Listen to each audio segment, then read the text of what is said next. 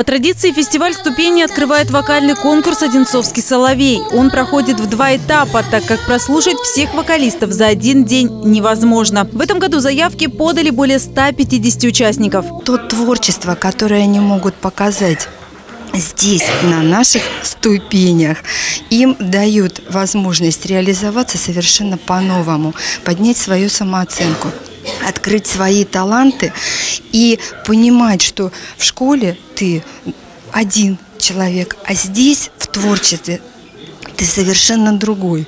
Ребята исполняют любимые песни в разных жанрах. Народный, академический вокал, эстрадно-джазовое пение. На конкурсе поют целыми семьями. Так в семье Хайдар Пашич сразу две солистки – Аделина и Амила. Болеть за девочек пришла вся семья. Чтобы справиться с волнением, нет ничего лучше поддержки близких и родных людей. Когда с тобой рядом близкие люди, они всегда тебя могут поддержать, и это очень успокаивает. Я очень рад за них. Я, э, э, у них получается, поддерживаем, радуемся, болеем.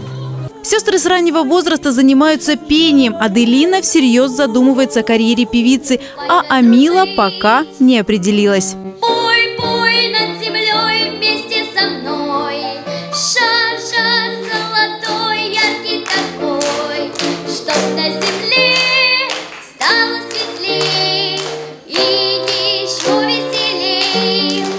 Я всегда пою искренне, потому что э, искренние эмоции всегда задевают человека. Если ты будешь просто петь без эмоций, то ты не затронешь ни одного зрителя.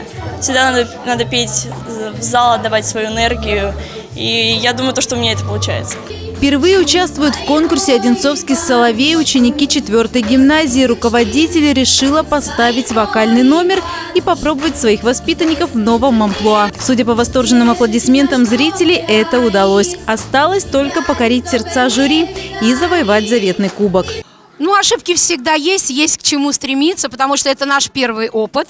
Мы все время танцуем, вокал – это наша первая премьера – на сцене Центра эстетического воспитания не только вокалисты и ансамбли. Свое мастерство демонстрировали и хоровые коллективы. Как признались юные артисты, петь в хоре даже труднее, чем сольно. Чтобы добиться идеальной чистоты исполнения, уходит много времени и сил. Понравилось ли вам ваше выступление?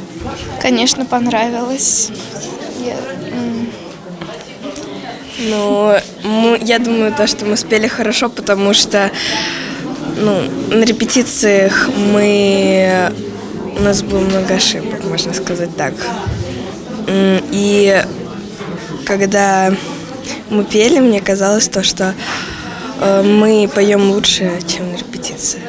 Пока победители не названы, впереди второй этап конкурса «Одинцовский соловей». Все участники ждут результатов. Мария Шматкова, Артем Ломоносов, телекомпания «Одинцова».